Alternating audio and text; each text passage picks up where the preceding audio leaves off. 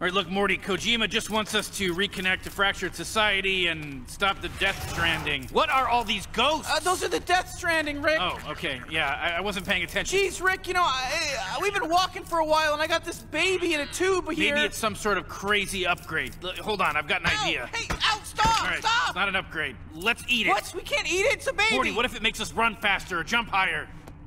Okay, let's eat the baby.